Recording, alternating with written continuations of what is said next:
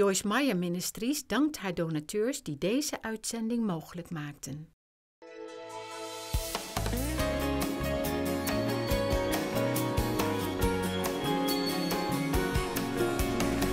Attitudes just make all the difference in the world. One little cute story.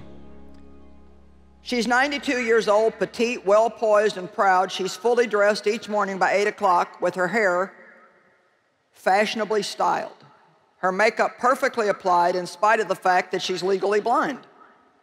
Today, she's moved to a nursing home because her husband of 70 years has recently passed away, making the move necessary. After many hours of waiting patiently in the lobby of the nursing home, where I am employed, the lady smiled sweetly when told that her room was finally ready. As she maneuvered her walker to the elevator, I provided a visual description of her tiny little room that she would now live in the rest of her life. I told her about the eyelet curtains that had been hung on her windows. I love it, she said. She, she stated that with the enthusiasm of an eight year old having been presented with a new puppy. Mrs. Jones, you haven't even seen the room yet. Just wait. Then she spoke these words that I will never forget. That doesn't have anything to do with it, she gently replied. Happiness is something you decide on ahead of time. Whether I like the room or not does not depend on how the furniture is arranged, it is how I have arranged my mind. I have already decided to love it. Think about that. She said, I have already decided to love it. It's a decision I make every morning when I wake up. I have a choice. I can spend the day in bed recounting the difficulties I've had with all the parts of my body that no longer work. Or I can get out of bed and be thankful for the ones that do work. Each day is a gift, and as long as my eyes open, I will focus on the new day and all the happy memories I have stored away just for this time in my life. Come on, give God a big praise.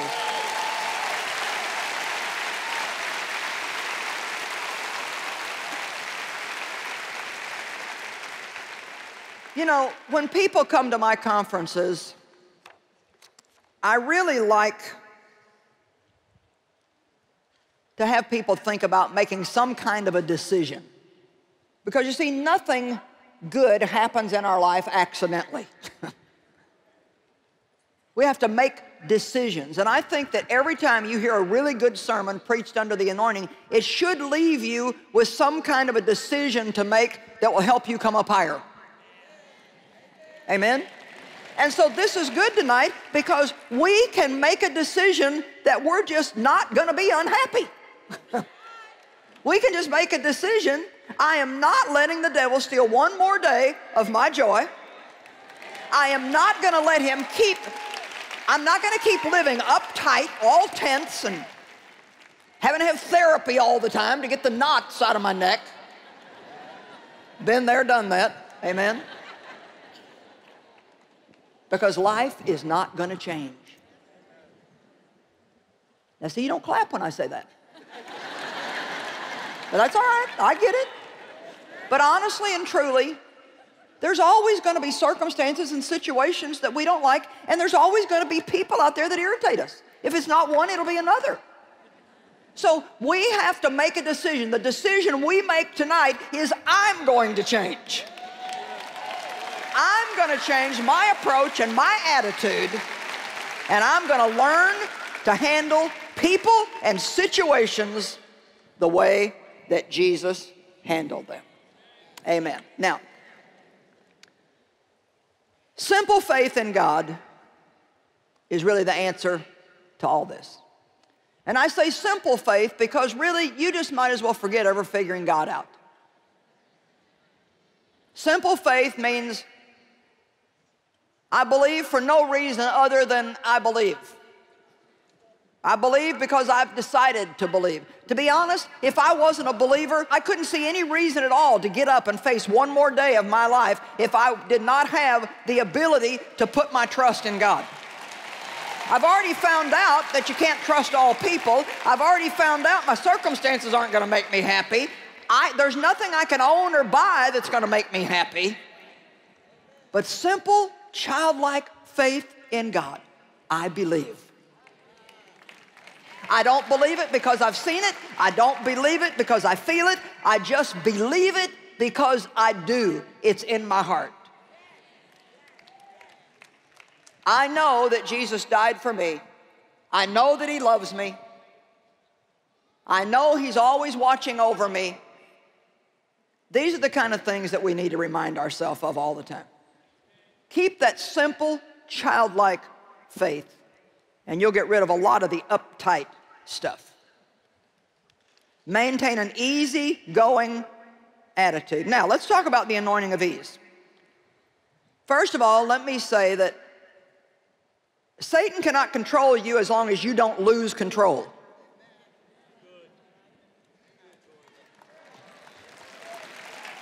That's one of those things you should write down and put it on your Facebook later, not after, not during this meeting.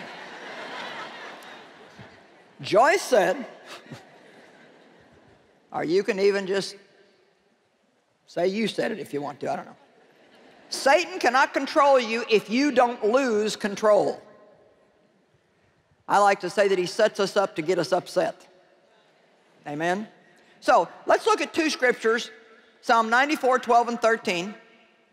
It's so important to be able to stay calm, just to stay relaxed and have an easygoing attitude and don't get all uptight, no matter what your circumstances are.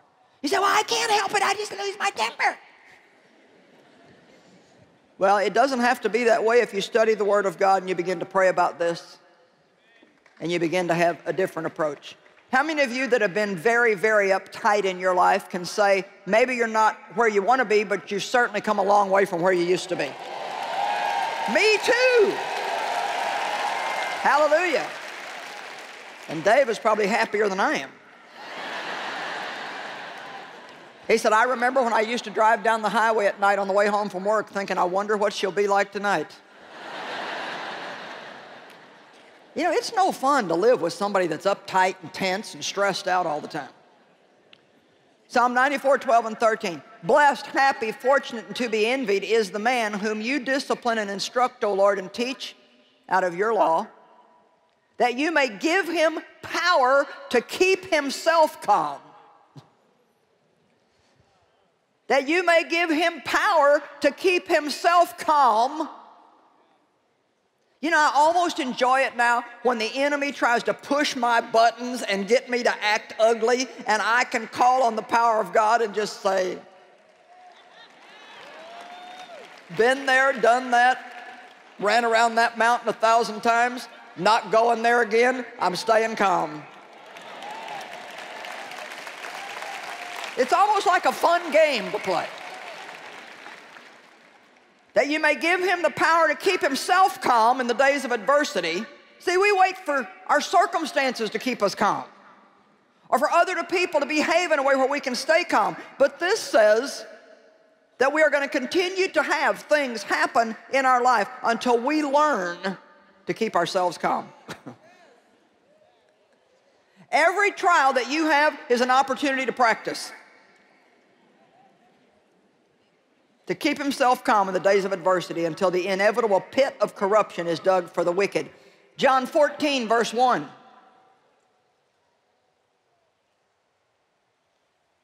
Jesus said, Do not let your hearts be troubled. Distressed, agitated, uptight. That's the amplified, amplified version. You believe and adhere to and trust and rely on God. Believe and adhere to and trust and rely on me. So what is he saying the answer is to all this uptight stuff? Trust God. Just trust God. well, what is God going to do? I don't know. But he's pretty smart. He knows everything. He's everywhere all the time. He has all power. Before you ever got to where you're at, God already knew you were going to get here. He's not surprised by your situation or my situation. Just stay calm. In the world you will have tribulation. Jesus said, cheer up, I have overcome the world. In the world, you will have tribulation. Cheer up. I have overcome the world. Now, you know, all of life is not just one trouble after another. We have lots of great days and days that are just amazing. Matter of fact, if I look at my life, I'd have to say my, my whole life is amazing. But yet, just, is, just as a, a thing to do to prove a point, I kept a record for about six weeks, starting in like February or March of this year in the back of my journal, of troublesome, irritating things that happened to me that could have really upset me and put me over the edge and ruined my day had I not decided, everybody say, I decided, to stay calm and trust God. Trusting God is an amazing, amazing privilege. And that's your privilege as a believer in Jesus Christ. You get to trust God in every situation. You don't have to trust God. You don't even have to try to trust God. You have the privilege of trusting God. You can believe when you don't know what to do that God knows and He's got it covered. Hallelujah. Woo-hoo. John 14, verse 27. Peace I leave with you. My own peace I now give and bequeath unto you. Not as the world gives, do I give to you. We don't have the kind of peace the world has that is based on circumstances. We have a different quality of peace. We have the peace of God, the peace that passes understanding. Not as the world gives, do I give unto you. Do not, now watch this last part. Amplified translation, do not let your hearts be troubled, neither let them be afraid. Stop allowing yourselves to be agitated and disturbed and uptight. And do not permit yourselves to be fearful and intimidated and cowardly and unsettled. Let's back it up. I want you to see it again. Come on, God's given us a responsibility. Stop allowing yourselves. See, we just kind of, well, I want this to go away. I just want this to go away. I don't want to feel this way. Well, then stop it.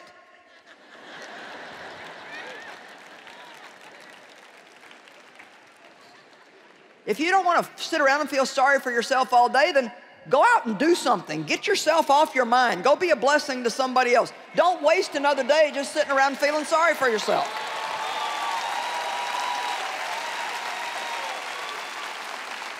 If you're upset because you got two or three areas in your body that hurt or don't work right anymore, think about all the things that do work right and good. Fight the devil. Fight the good fight of faith. You can fight the devil and win every time if you just keep a good attitude. The devil cannot defeat you if you will keep a good attitude.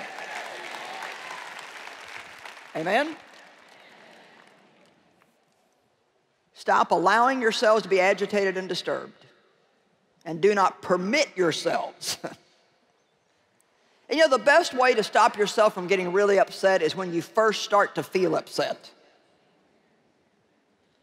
1 Peter chapter 5 says, resist the devil at his onset. And that's always been a very important scripture to me because how many of you know that sometimes if you get mad enough, then there's no turning back? But if you'll do something about it when you first start feeling that way, it's much easier to stop it then. So when you first start feeling that uptight, anybody know what I'm talking about? Don't I do that good? you know what, you, you can stop right then and go, God's in control. He loves me.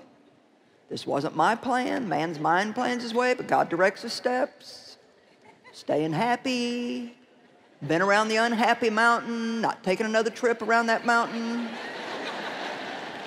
Forget it, devil, you're not going to control me. Go have a little chat with yourself. I tell people pretty often, go have, an, go have a meeting with yourself. Now, when we talk about an anointing of ease, I love that thought. An anointing of ease, a holy ease that we can have in our life. Not a lazy ease, Not laying around on the couch watching soap operas and eating donuts all day. That's not what I'm talking about. I'm not talking about everything being easy.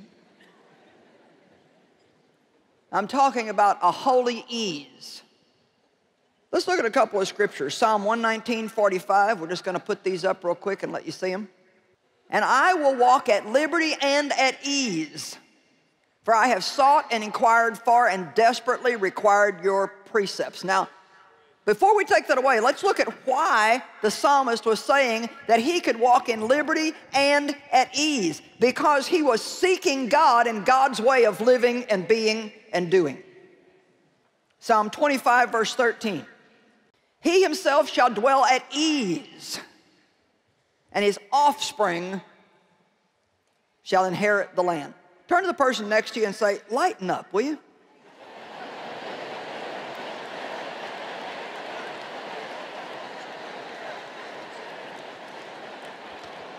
Quit being so intense. Amen? Now, Let's talk about a little ease for our souls. Now remember your soul is your mind, your will, and your, and your, your mind, your will, your emotions. And your soul is this inner part of you. My soul is my inner part. And really, that's, that's where our joy is at. It's not, you know, you can be happy if everything that's happening suits you. But then when it's not suiting you, you become unhappy. But you know, we have the joy of the Lord, but there's no such, we never use the phrase, I have become unjoyed. you know, you, you can be happy and unhappy, but you're not joyed and unjoyed because the joy of the Lord is something that we can have all the time because it's not ever based on what's happening, it's based on what we know and what we believe. Come on. It's based on what we believe. My joy is based on what I believe. My happiness is based on what's happening. Come on now. My happiness is based on what's happening, but my joy is based on what I believe. That's another good one to send off to your friends. So let's talk for a minute about getting some mental ease. How many of you have got a brain that could use a break? All right. Let's talk for a minute about not reasoning. You know, I was, oh my gosh, I was addicted to reasoning. Lord have mercy. I think I lived in so much fear in my childhood and just really didn't have anybody to properly take care of me that I just felt that I had to have everything figured out, not only in my life, but everybody else's life. And I want to tell you what, it, it's, it is a full-time job trying to run the world. I mean, it just, it will just absolutely wear you out. I not only was concerned about my stuff, I was concerned about everybody else's too. And I did a lot of reasoning. The Bible says in Proverbs 3, 5 through 7, trust in the Lord with all your heart and mind, your heart and mind. We say, well, I'm trusting God. Well, what are you doing with your mind? Trust in the Lord with all your heart and mind and lean not or rely not on your own insight or understanding. And I love this next one. In all your ways, acknowledge Him, and He will direct your path. It's just this simple. God, I have a really stinky situation here. I'm not going to try to figure it out. I'm asking you to give me insight. You show me what I should do in this situation. And until you do, I'm going to stay in rest. There's no shame or no embarrassment in saying, I don't know what to do. I do not know what to do. Everybody's always asking us, well, what are you going to do? What are you going to do? What are you going to do? What are you going to do? I honestly think that, that the devil sends out a little demon every morning to sit on each one of our shoulders, screaming in our ear all day, well, what are you going to do? What are you going to do? What are you going to do? What are you going to do? You even try to rest, and the enemy's going to say, you need to do something. You need to do something. What are you going to do? What are you going to do? Well, has anybody ever noticed that we're not called human doings? I actually thought, I wonder if that'd make a good book. Are you a human being or a human doing? Because we don't know how to just be and let God be God. In Ephesians 6, the Bible says, Do all that the crisis demands and then stand firmly in your place. Well, yes, if you know what to do, by all means do it. But if you don't, stand firm, abiding in Christ, knowing that He will not let you down. He might not show up early, but He won't be late. How many of you found out that even though God doesn't always do everything you want Him to, He does always come through? I mean, it's the truth. Even though He doesn't do everything I want Him to do, He does come through for me. It is a great privilege to be able to trust God. We don't, I'm trying to trust God. Well, I guess I'll just have to trust God. No, it's a privilege to trust God. And don't do that after you've done everything else. Do that first.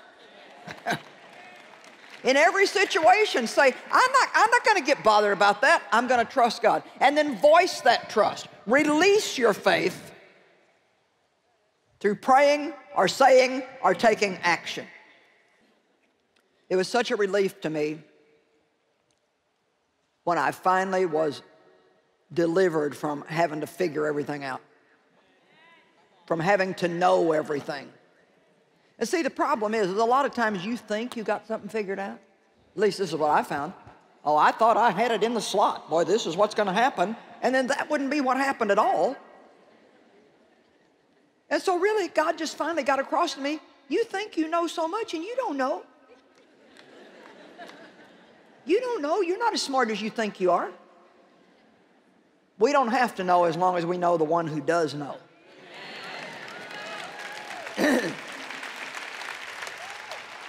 Really, walking in faith very often requires trusting God one day at a time. And that's kind of a scary thing. The example that we find in the Old Testament is very relevant to us today in every situation of our life where they had no food, they had no way of providing food, and God miraculously provided food called manna, which fell from heaven every morning and they were commanded that they could only gather enough for one day. If they got more than for one day, it would rot, rot and stink. And so maybe I could just take a little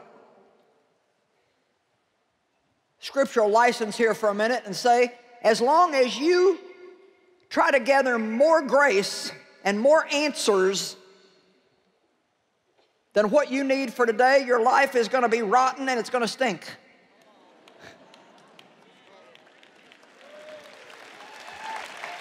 Amen? It's enough to just know that today my needs are met. And you know, even if we think we've got everything secure for the future, we don't know what's going to happen. I mean, you could feel so financially secure, you could have a gazillion dollars in the bank, and we all know that that could all cave in overnight. That's why the Bible says don't put your trust in money and things and the world and government. We need to put our trust in God, in God. In God alone, I place my trust.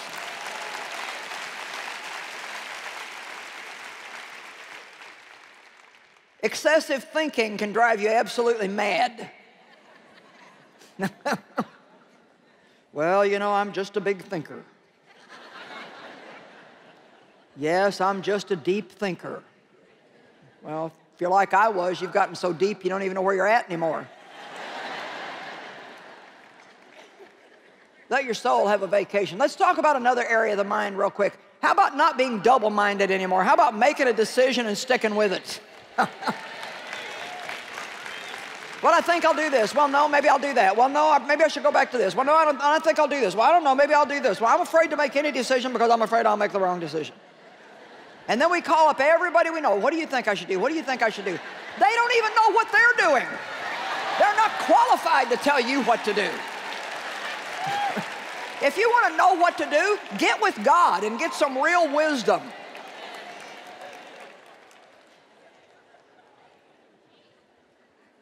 Yes, thank you, Jesus. make decisions.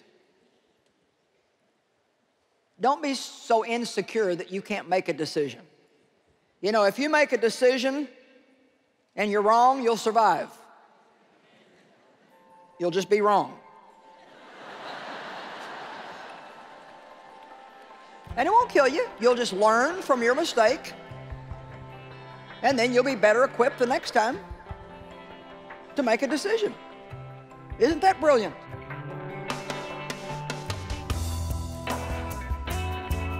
Well, our happiness is often based on what's happening in our lives, but our joy can be based on what we believe, and we can choose which one we want to live by.